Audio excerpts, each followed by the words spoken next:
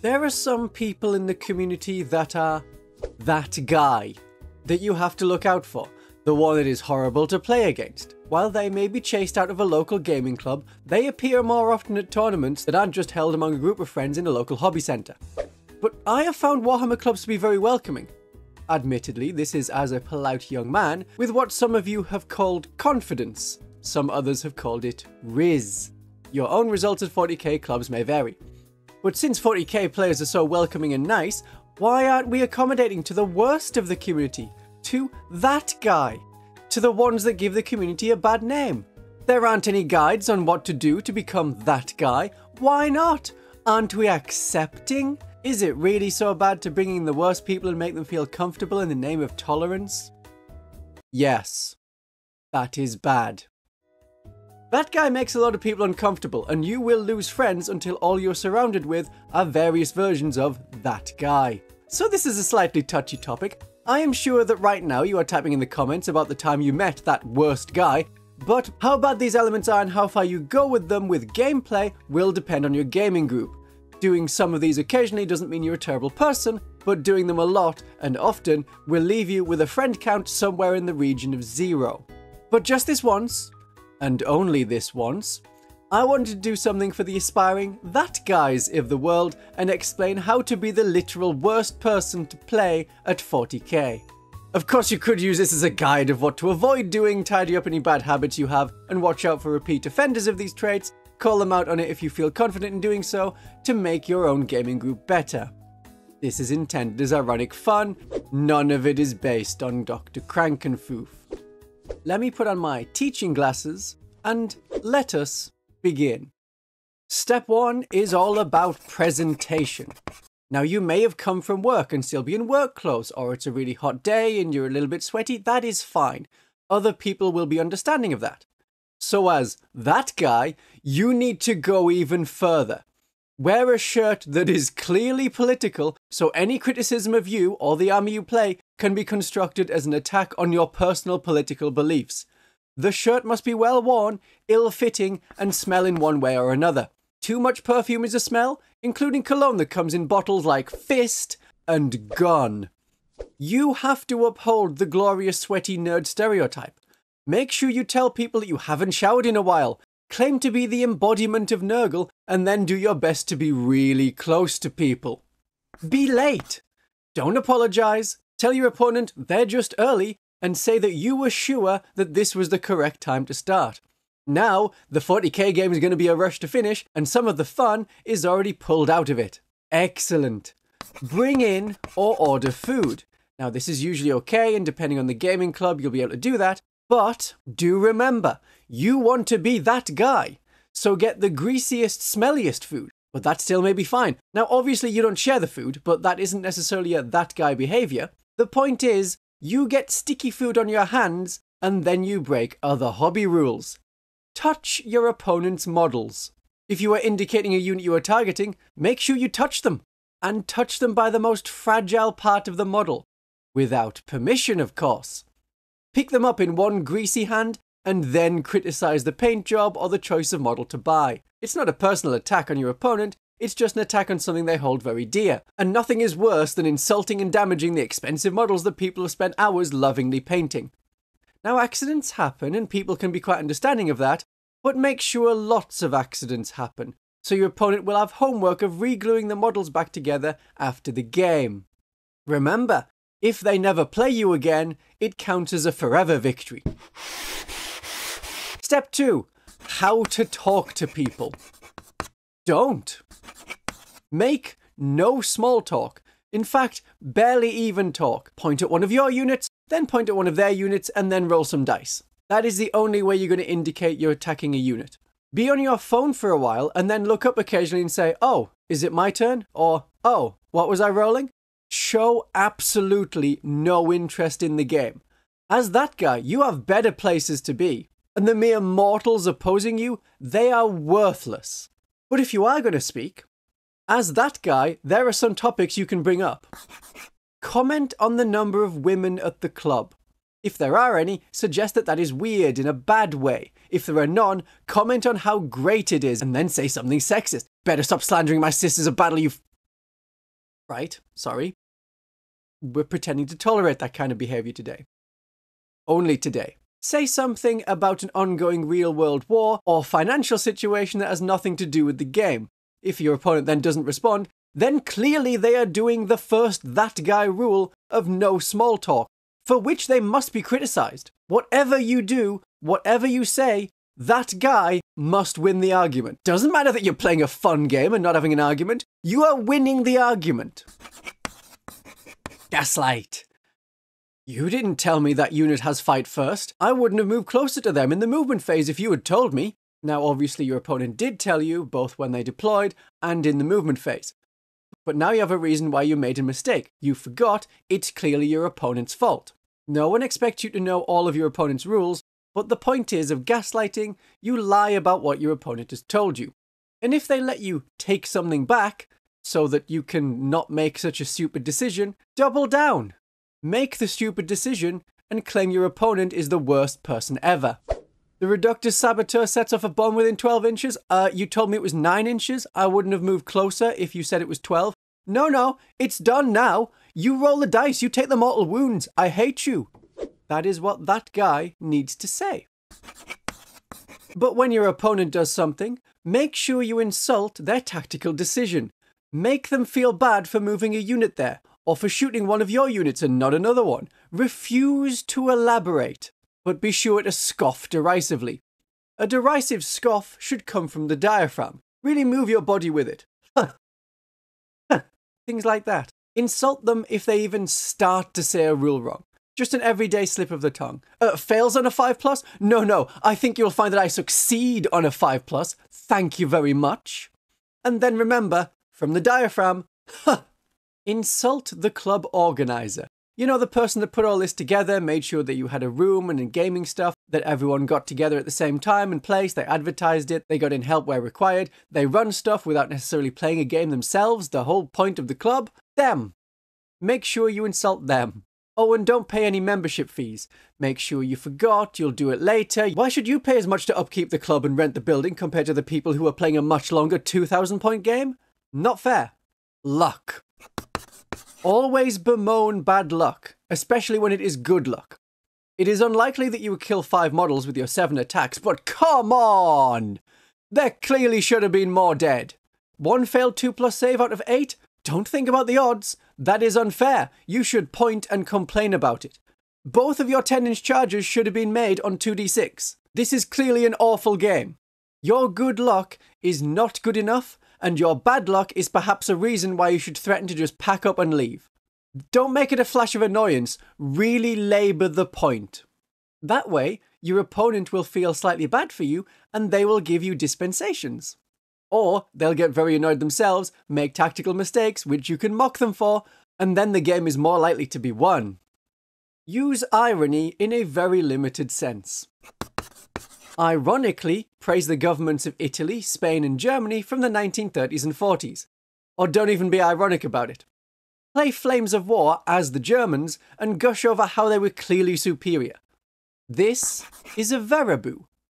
If you think the British did nothing wrong in World War II, you are a Teaboo.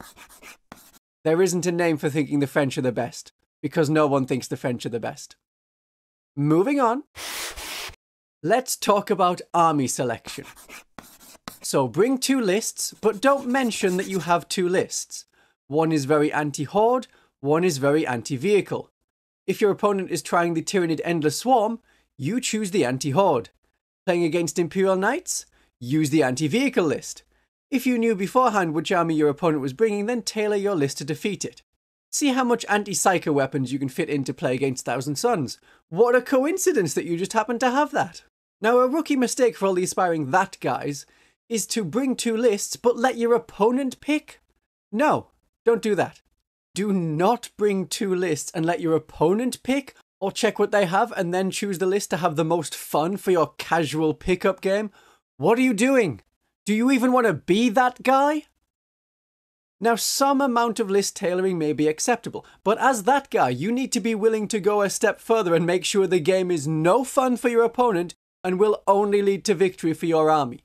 If it doesn't, see the points above for complaining the whole time. And when we're picking points, go about 5% more than the points allow. So for a 2000 point army, you are taking 2100 points. Morally, it's fine. I'm sure that Eldar were overnerfed anyway. Oh, that just raised some heart rates. Fun, fun. This video is about fun. But unless your opponent goes over the list and knows the current points off by heart, no one does, then they won't notice the altered points value, or it doesn't matter that they don't add up to 2000 points. That gives you an edge. And when you are picking your models, every single model is a counts as. A few things are fine, I have a video on it, but make sure everything is proxied as the most optimal weapon to destroy your enemy. This isn't just to try out a tank that you don't have before you buy it. All of your rhinos are actually land raiders with massive guns. You just can't see that every identical rhino represents a different kind of Land Raider. Let's talk about the gameplay moves. You're gonna do the wrong thing, deliberately, but you need to do it with deniability, like using a version of a rule from a past edition. Claim not to know that deploying a character alone doesn't give you lone operative. See, some people watching didn't know that you could do that or how the rules worked, but you are that guy and you want to blend into ignorance. People will rarely call you stupid for not understanding a rule or misremembering something. Of course, you will call them stupid because you are that guy. Part of the game is going to be rolling dice. Don't use a dice tray. Roll the dice behind a big building or something like a tank that your opponent can't see past. Pick up a few misses and add them to your wound rolls. If the dice looks cocked and it's probably going to come down to be a hit, that's fine, it was a hit. But if it's a 1 on a slight slant of a hill, call that cocked and re-roll it quickly. When you are going to be measuring to move your units, you're going to be measuring a little bit further than normal. Now do not do this on the first turn, you will get caught out. If you know that you are 24 inches apart, then it's going to be obvious if your 5 inch move model with an 18 inch range gun is suddenly in range on the first turn. Also, don't just do the old simple move from the front of the base, but measure to the back of the base. On bigger models, it's obvious that the Terminator has moved about 7 inches. So just go for a little bit extra. Five and a half inches. That can be enough to change a failed charge into a just succeeds because you get within engagement range charge. Never tell your opponent about your unit abilities. If one of your units has fight first, be sure to never mention it. And if they ask, remember before, uh, I think I did tell you about fight first. I did it when I deployed. I did it in the first turn. Come on. I told you enough times. If a unit is unusual and has lone operative or equivalent, don't mention it. You could even show your opponent your Eldar Rangers, but then not mention that when paired with Nightspear, then they get lone operative. Oh dear, your opponent just wasted a unit's move to shoot at something that they couldn't shoot at. I guess that's just how the game works. They'll know for next time. Let me know if you are seething yet or this is just too standard. I can go further, you know. It can get worse.